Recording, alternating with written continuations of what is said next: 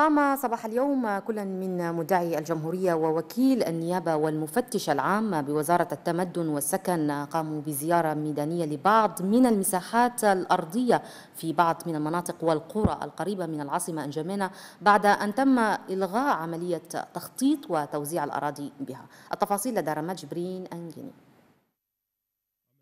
مخصوصة موسعة لتخطيط مساحات واسعة من أراضي قرى كيسيات القريبة من العاصمة جمينة. قام بها بعض من الأفراد ذوي النفوس الضعيفة دون إخبار الجهات المعنية بهذا الشأن.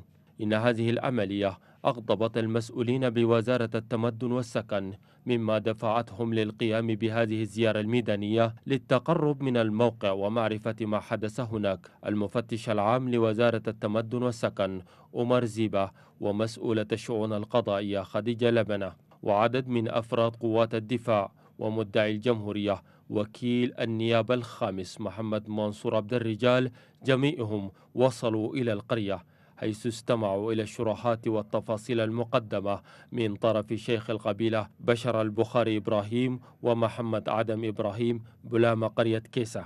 ثمة أن هذه المعلومات سمحت للمسؤولين بتفقد الأماكن والمساحات الأرضية التي تم تخطيطها. الوسيط الغير شرعي يروي هذه القصة من البداية مشددا أنه اتبع الطرق الصحيحة.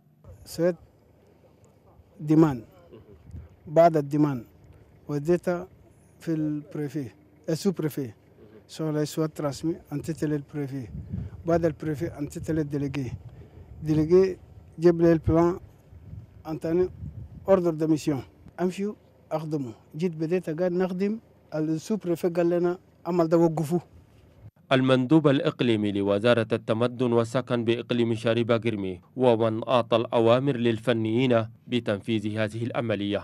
شغلنا إجراءات. شغل جاي من البلان ادوبتي قدام هنا ما افكتاني بعد ده الجوفرنر كان خلاص البلان ده ادوبتي قبل تاني نسو نسو ordre de mission وناس يجوا يخدموا selon le plan أنا ما نخدموا أم تبولبول مش اللي ما في. المفتش العام لوزارة التمدن والسكن عمر زيبا. أكد من ناحيته أن الطريقة التي ذهبت بها عملية تخطيط هذه الأراضي وصناعة الحجارة بهذه الطريقة مخالفة تماما. مدعي الجمهورية وكيل النيابة الخامسة شدد على ضرورة فتح تحقيق جنائي لملاحقة مثل هذه البؤر الإجرامية. جينا شفنا لقينا 4200 أو 4500 بور مكان.